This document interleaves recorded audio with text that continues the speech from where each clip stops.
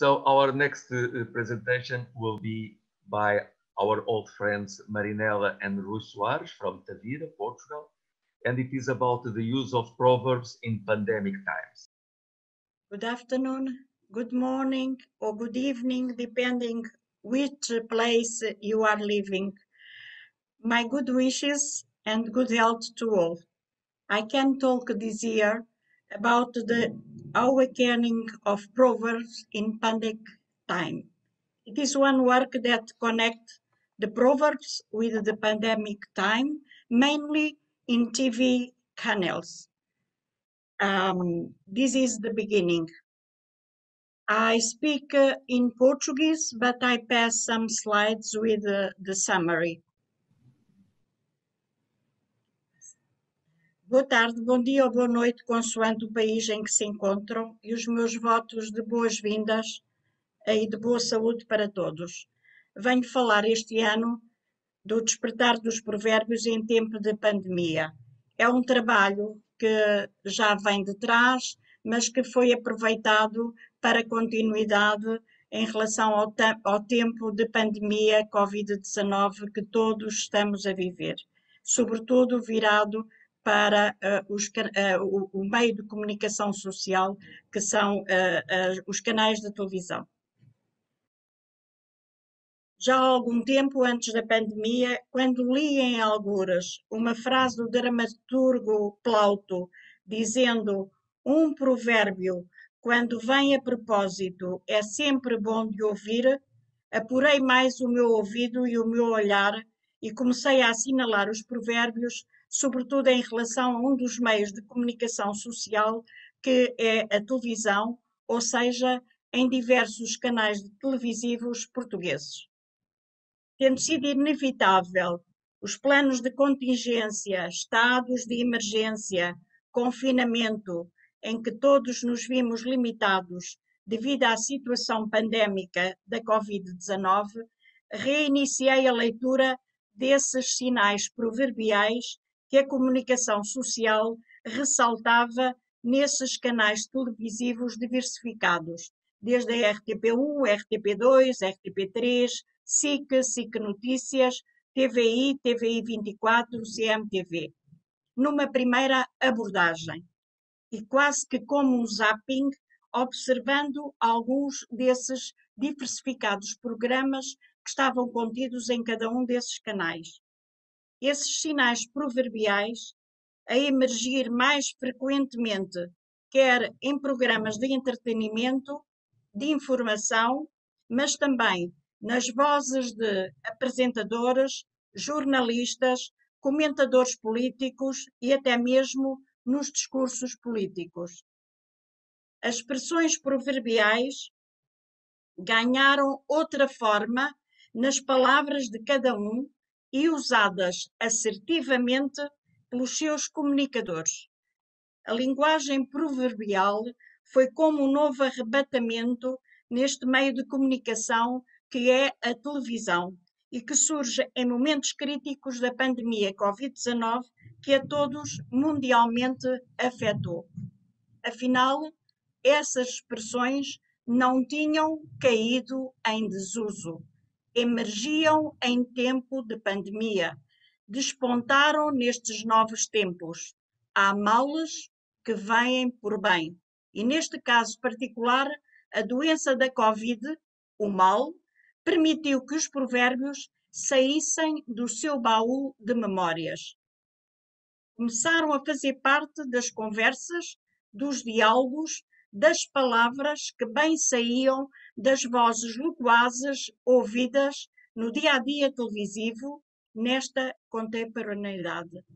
Permitiu-se assim a reflexão sobre o assunto proverbial.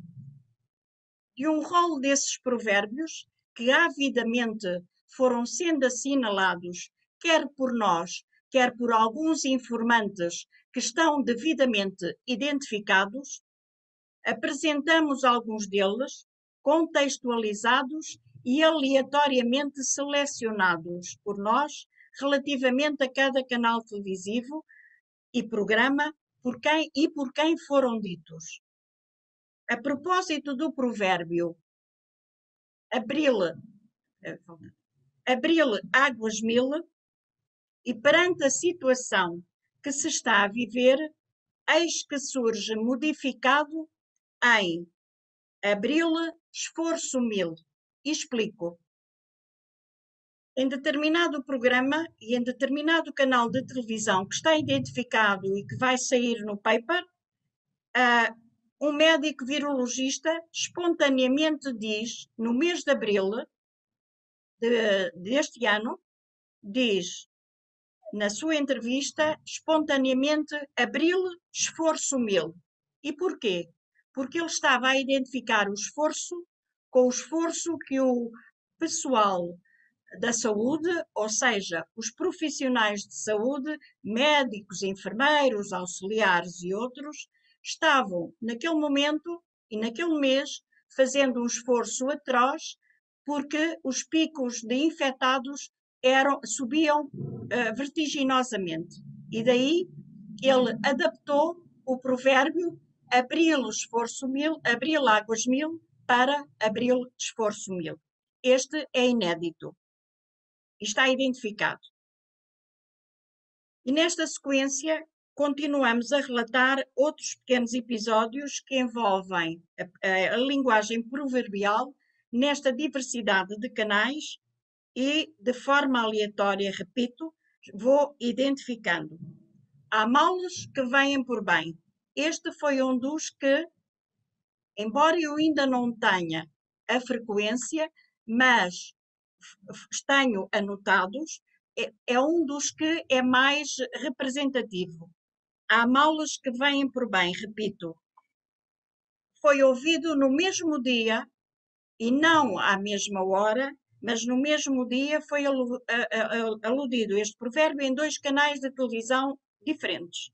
Um por um psicólogo que, num programa de debate, dizia que, no seu entender como psicólogo, o, seu mal, o mal que era a pandemia havia de contribuir para uma reflexão e para reajustar e pensar e repensarem as discrepâncias sociais nos tempos de hoje.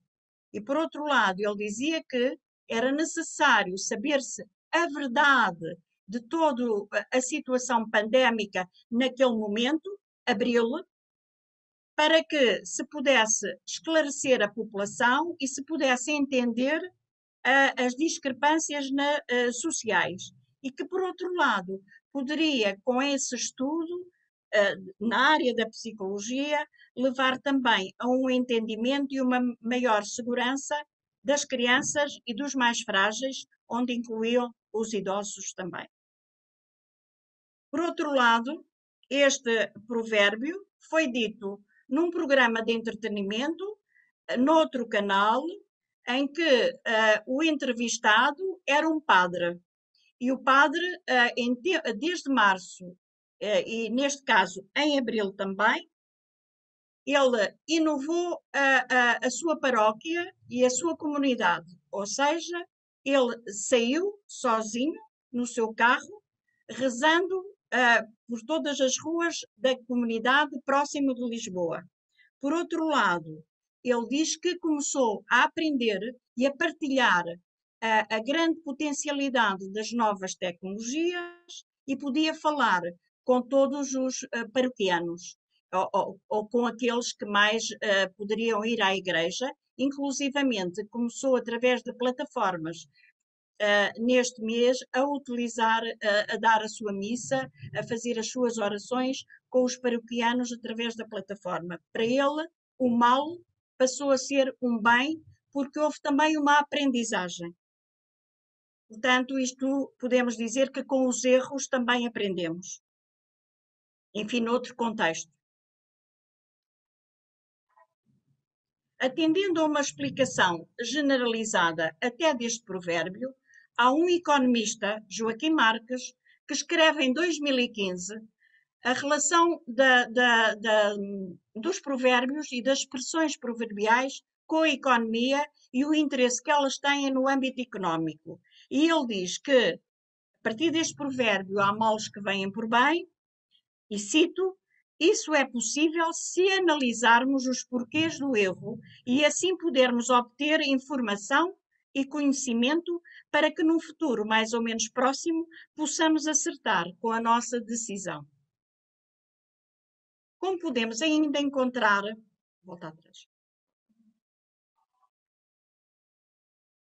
Como podemos ainda encontrar em Maria de Lourdes Oliveira, uh, que cita uh, o seguinte: uh, desculpem, eu passo a citar Maria de Lourdes Oliveira, e ela diz que, na tentativa de comprovar que as palavras abstratas e vagas apelam menos para os sentidos, o seu teor se nos afigura esmaecido ou impreciso, exigindo do espírito maior esforço para lhes aprender a integral significação, enquanto o provérbio é concreto e preciso. O exemplo vem com o provérbio concreto e preciso: há males que vêm por bem o que explica vagamente que muitos factos danosos acabam produzindo benefícios inesperados. E fim de citação de Maria de Lourdes Oliveira, 2013, na página 118. O provérbio tem uma gramática própria que, em alguns pontos, coincide com a gramática normativa, em outros, não, está acima da normatividade. Isto fica para os linguistas, mas que eu, eh, de facto, subscrevo esta, esta frase. Dos muitos provérbios inventariados, alguns deles saem da boca de pessoas com responsabilidades governamental, social, cultural, jornalística e outras. E refiro ao sábio é um pirilampo que usa o escuro para se acender este economista que foi uh, apoiar o governo uh, vigente em Portugal uh, foi convidado pelo primeiro-ministro para que pudesse dar apoio nas estratégias da economia portuguesa. Ele refere também este provérbio africano, segundo ele, e rematou com o provérbio africano depois do seu discurso e do seu debate perante a situação e a entrevista à qual foi, foi sujeito, uh, rematou também num dos canais televisivos e rematou com este provérbio sábio, eu repito, sábio é o pirilampo que usa o escuro para se acender. Porque ele diz que só não vê quem não quer ver. Outro, outro hum, provérbio que foi aludido por um comentador uh, no Jornal da Noite, quem procura acha. Ele emitiu esta opinião, quem procura acha, uh, porque, por causa do, porque se falava na altura, isto ainda em fins de março de, deste ano, em que a pandemia estava a começar a crescer, ou, ou melhor, o número de infectados começaria a crescer, e ele, ao comentar esse tipo de situação e todos os gráficos que iam surgindo nesse canal televisivo, ele disse que se podia fazer uma melhor triagem de infectados confirmados e não infectados perante este novo surto pandemiológico. E porque na altura a Coreia do Sul já estava muito avançada uh, e acrescentou que na Coreia do Sul essa frequência era cada vez maior, contribuindo para um maior controle de letalidade comparativamente a outros países da Europa incluindo Portugal. Nesse, nesse mesmo discurso e, e com outra expressão proverbial, ele diz: um é bom, dois é muito e três é demais. Ou seja, naquela altura, os países da Europa começavam a, a aumentar, enfim, o número de infectados. E, de facto, ele dizia que um é bom no sentido de que ainda se podia eh, controlar uh, toda a, todo o surto, mas se dois países ou três uh, fronteiriços começavam a ter esse controle, era, muito, era cada vez mais difícil. Depois temos outro, a pressa é má conselheira. Isto foi também num debate com figuras públicas, políticas do, de, de, Portugal, e em que o jornalista de, expressa uh, no seu, no, enfim, no, no, na comunicação com, com todos os seus entrevistados, uh, ele diz, ainda referente, evidentemente, uh, aos tempos de pandemia, e foi uh, em março também, quando se iniciava toda essa situação, ele dizia que a água bate na rocha, mas quem paga é o, é o mexilhão. Isto porquê? Porque ele referia-se que os mais frágeis uh, todos aqueles que estavam em condições mais fragilizadas é, seriam aqueles mais, mais atingidos em saúde e na parte económica também. E que, por outro lado, ele considerava, ele, jornalista, considerava que poderiam, evidentemente, perante essas fragilidades, estarem mais expostos a, ao vírus. Outro, a pressa é má conselheira. Este foi também uh, utilizado por um jornalista num serviço noticioso de grande alcance em Portugal, uh, que era uma edição, um, portanto, quase à hora do almoço, e em que uh, se estava comparando já o número de infectados com a nossa vizinha Espanha. E para, para que se não pudesse correr riscos aqui em Portugal comparativamente com o que se estava a passar em Espanha, ele dizia a pressa é má conselheira. Porquê? Porque na altura, um, na altura, naquele momento, tinham sido compradas uh, algumas, uh, alguns testes e os testes, uh, portanto, tiveram que ser recusados porque não estavam hum, convenientemente, de facto, provados e, portanto, tiveram que rejeitar e mais tarde comprar outros, outros testes. Portanto, a pressa é má, é má conselheira. Teria, de facto, passar. Há aqui outros que não vale a pena chorar sobre o leite derramado.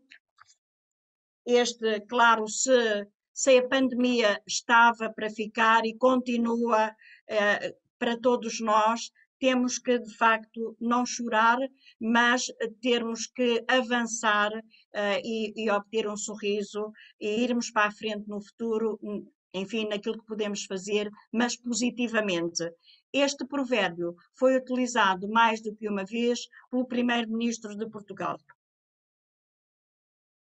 Um, estamos todos no mesmo barco, este é constantemente uh, utilizado. Portanto, não, talvez eu diria esta expressão proverbial, estamos todos no mesmo barco, tem sido até hoje continuadamente utilizada por qualquer da, das personagens e por qualquer de, de to, todas as pessoas da comunicação social aqui referidas, inclusivamente em entrevistas, em debates políticos, em pessoas uh, uh, e, e, portanto, que são entrevistados, enfim, em cada dia e, e utilizam muito, uh, de facto, este estamos todos no mesmo barco e, foram citados continuadamente em, em, programas de entretenimento, quer em programas eh, de debate político, quer por, por jornalistas, quer pelo Primeiro-Ministro, quer por outros políticos e deputados da nossa Assembleia. E ainda hoje está a ser utilizado. Pela boca morre o peixe. Portanto, este também foi um dos que de facto uh, têm sido citados, mas aqui este tem uma particularidade, porque este foi referido por uma enfermeira portuguesa que trabalhava e que trabalha num hospital em Londres e que ao ser entrevistada uh, via Skype uh, por um jornalista português, ele perguntava qual era a situação de, de, de Londres naquele momento, que foi também em abril uh, deste ano. E, e, ela respondeu que, de, que o primeiro-ministro uh, da altura, uh, em, portanto, em Londres, Boris Johnson, enfim, parecia-lhe que não tinha levado a situação muito, um, muito seriamente uh, ou, com muita, ou com alguma honestidade e que ele próprio foi afetado uh, pelo próprio vírus.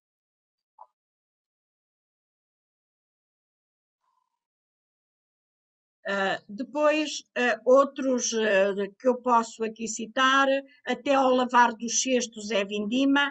Este também foi referido por um jornalista, um, um jornalista português, em serviço nos Estados Unidos por causa das eleições que estão agora a serem, a serem acabadas e finalizadas nos Estados Unidos. E, e, de facto ele dizia que a atitude de, de, Donald Trump era ir mesmo até ao fim sem olhar a meios para atingir os fins. E, portanto, ele acabava por uh, utilizar este provérbio português que quer, enfim, de algum modo dizer isso. Até ao lavar dos cestos é vindima. Depois temos também um humorista um humorista português que também uh, diz uh, vaso ruim não quebra, ou outros ditos por apresentadores de programas de entretenimento, grão a grão enche galinha ao papo. Uh, depois há aqui outro, um, ehm, portanto, nem tanto ao mar, nem tanto à terra.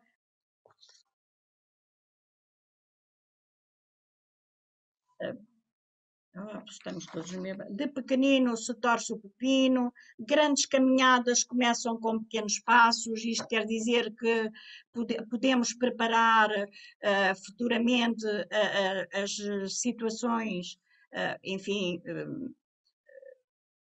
perante todo, todo este, este tempo pandémico de uma maneira positiva e com pequenos passos, com, com pondera, sermos, eh, enfim, eh, resilientes, mas sermos também, ter alguma calma, eh, ter alguma calma nessa, nessa situação para se procurar algum equilíbrio e não acontecer a pressa ser má conselheira.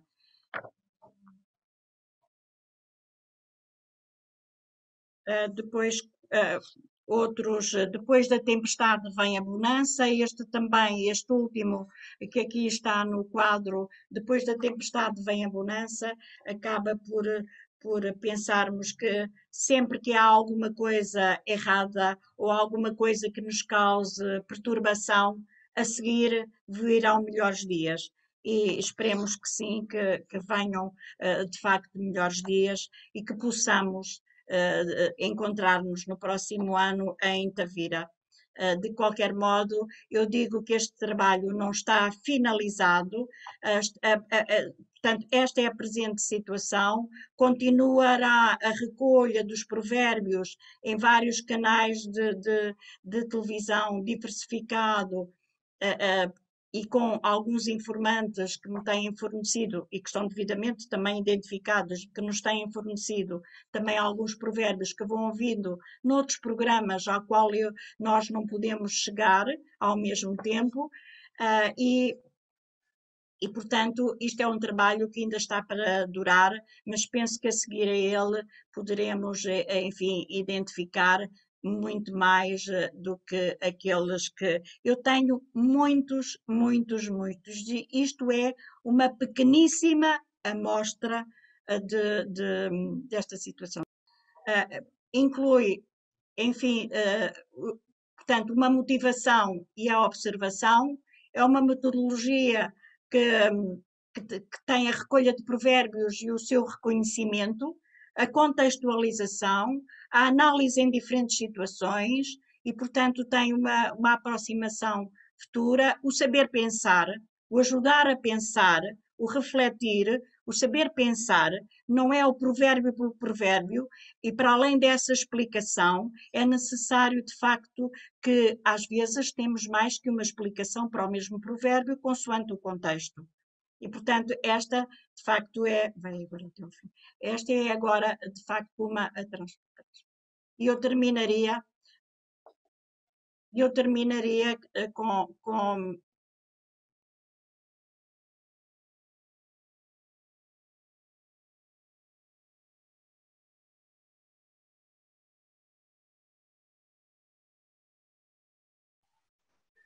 Marinela, não estamos a ouvi-la.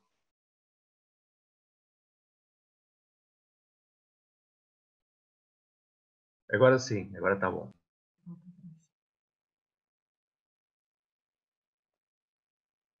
Houve aqui qualquer.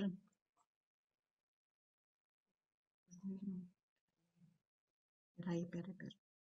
Pronto. Estão-me a ouvir agora, não é verdade? Uh, portanto, foi o facto de eu ter posto uh, para trás uh, o, o, slide e, portanto, acabou por tocar naquele botão. Foi só isso. Não houve qualquer problema. Portanto, eu volto a citar, e para terminar, volto a citar Maria de Lourdes Oliveira, que é um livro que eu aconselho, de provérbios.com, O Saber dos Antigos no Novo Milénio, de 2013, na página 439, ela diz que o provérbio não é só, como alguns referem, de pessoas pouco intelectualizadas e pouco escolarizadas. Como nos diz Maria de Lourdes Oliveira, registramos, portanto ela é brasileira, registramos a atualidade do provérbio. Ele comparece hoje nos discursos mais diversos, nas classes sociais de todos os níveis e é empregado quase sempre sem crítica ou questionamento, tanto por pessoas pouco escolarizadas, quanto por aquelas intelectualizadas ou eruditas. E por aqui uh, vou ficar dizendo muito obrigada pela vossa atenção uh, e que vos faça, uh, enfim, que este colóquio continue até amanhã e que estejam de facto felizes e que para o ano possamos, a família paramiológica possa estar em Tavira presencialmente. Bem-haja a todos.